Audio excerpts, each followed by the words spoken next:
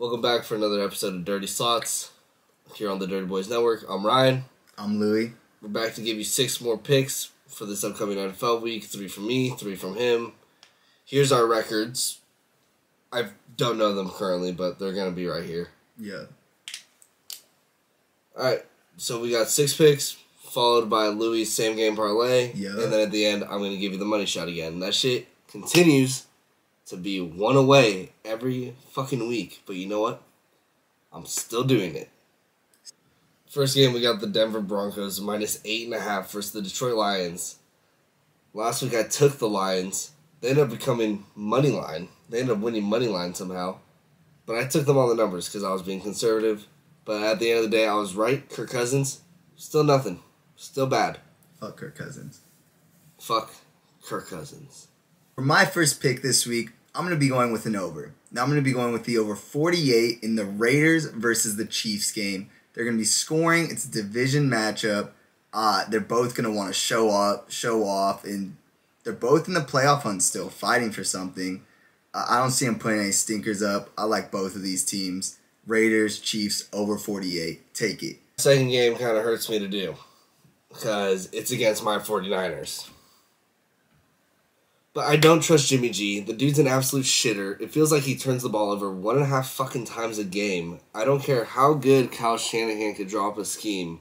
If he doesn't trust his quarterback, he's not going to open up the playbook, which was clearly shown last week in Seattle. So Cincinnati money line versus San Francisco 49ers. For my second game, I have the Jaguars versus the Tennessee Titans, and I am taking the plus eight and a half with the Jaguars. Uh, the Titans, frauds. We've known that for years. Uh, Ryan's the first one to call it. they're finally starting to come into true form, which is something I've been looking forward to, like looking forward to all season. But they were so hot early on that they they made it hard. They had us in the first half. But you can't hide forever. Third game, we got the Rams versus the Cardinals, and if you guys don't remember, Sean McVay doesn't forget. He's not gonna forget that last loss against the Cardinals. He's gonna now go into Arizona and take one from them in their home.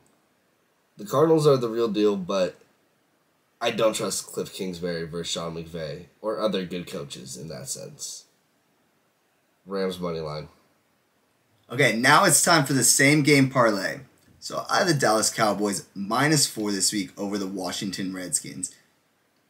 And with that, I'm going to be team. taking. Oh, fuck. You canceled pussy. God damn it. That was such a good one. Uh, Keep going. Fucking this week I have the Dallas Cowboys. Ah, fuck. Okay. this ain't in at this point. For my same game parlay this week, I'm taking the Cowboys minus four over the Washington football team. Uh, I'm going to be taking the over in this game. It's a 48 as well, uh, same as the Chiefs Raiders game. Uh, it's a little high in the winter during December, but again, the division matchups, they have te- things to play for. Both of these teams. Washington is in the wild card, Dallas is the division leader. They got things to fight for. Washington's been scoring, scored well last week against uh, the Raiders. I'm not too afraid of the over. I just want to see the Cowboys pull up and, you know, honestly do what they're good. They have a lot of talent, but they've been slipping the past couple weeks.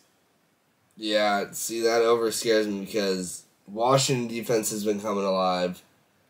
Dallas's defense has been alive all year, especially with their turnover ability. You really know who you never know who you're gonna get with either offense at, on any week, and you know the, how consistent the defenses have been. So, so I, I might have to fade you on that one. Yeah, my thing. I just hate the Cowboys defense. So um, anyone, I think they're gonna let allow points. Fair enough. All right, get the fuck out of here. Who's it all about? The Jets. It's all about the Jets, baby. We love the Jets. Go Jets. Love the Jets. Jets money line. We really about to see if they are dem boys. Cowboys money line versus the football team. Third, come on, let's be for real. This is gonna come down to how it always does with Justin Tucker breaking the hearts of Cleveland Brown fans in the final seconds with the Baltimore Ravens coming out money line over the fucking Browns. That's the money shot. Take it or leave it. I I I'd stay away. But who knows? This could be the one that hits. That's what I'll do for this episode of Dirty Slots. Make sure you go check out the rest of the channel, our Instagrams. I'm gonna put the tags here and here and there. There's gonna be a video suggested here. And we got the best of Tailgate State video coming out now, which will be probably about here when the video ends. Check it out. Check it out. Later. See y'all.